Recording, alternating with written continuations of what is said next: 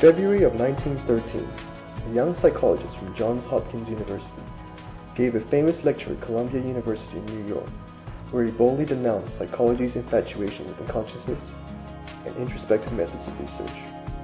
His name was John Watson, and with that lecture, he founded the school of psychology called behaviorism. He argued that only the study of something tangible, like behavior, should be relevant and promoted proper scientific investigation.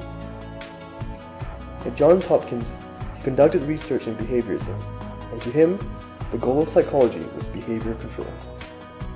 He wrote books on child rearing techniques and also gave lectures on the advertising industry. This was perhaps a foreshadowing of things to come.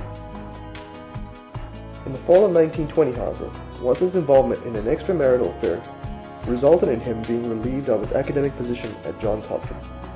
He was unable to acquire other academic positions and it was then that he decided to make his transition into the advertising industry. He moved to New York City and started what was to become a successful career in one of the country's top advertising firms. J. Walter Thompson was already one of the top ad firms in the 1920s, and to fully appreciate Watson's role, it is important to understand why the company was interested in hiring a psychologist. Stanley Resor was the president of J.W. Thompson at the time of Watson's hiring, and he had visions of making his company more scientific and professional in the advertising industry.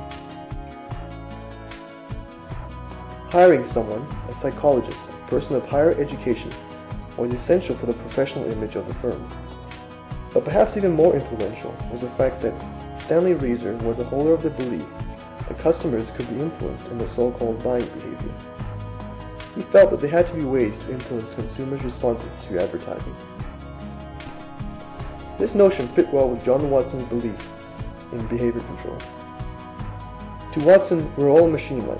With his behaviorist ideas, he believed that all he needed to do was push the correct buttons to trigger this buying behavior. When Watson first started at the company, he still needed experience and he had to learn the ways of the industry. He had to partake in door-to-door sales of rubber boots and had to clerk at Macy's department store. Watson said he enjoyed his time learning the profession, and he even proclaimed that he was an ad man first and that he would only use psychology to address problems should they arise. However, it was while learning the trade that he noticed peculiarities in buying behavior. Behavior control was Watson's goal, and he had identified what he deemed to be three fundamental human emotions love, fear, and rage. These emotions control all aspects of human behavior. In his now controversial Little Albert experiment, he demonstrated that he could induce a fearful behavioral reaction towards an innocent object by associating the object with a stimuli of adverse nature.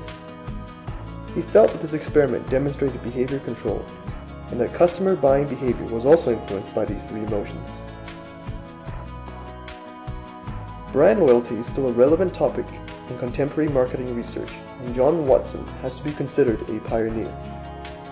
He conducted an experiment where subjects were given different brands of cigarettes to smoke. Later, they were again asked to smoke, but this time with the cardboard screen between the cigarettes and themselves. Watson found that the subjects couldn't distinguish the brands, but innately they still preferred specific brands. He suspected that the product's quality itself wasn't necessarily the only factor in maintaining brand loyalty.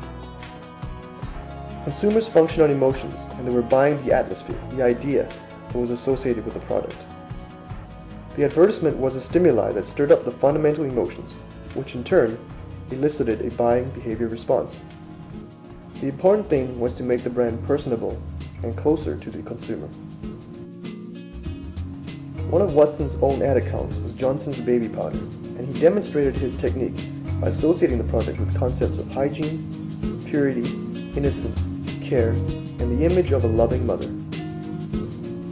He extended the ideas into the use of testimonials in advertising, and again, he showed that testimonies aroused the fundamental emotions and affected buying behavior. Even though Watson was hired as an account man, it was clear that the firm wanted him to represent the company in public. He was promoted into a vice president position and was often invited to speak at conferences and conventions. Watson spoke about his theories on behaviorism and his belief in the application of these theories in the advertising industry.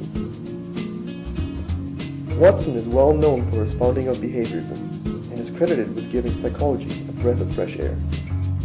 However, his contributions to psychology after his banishment from academics are just as important.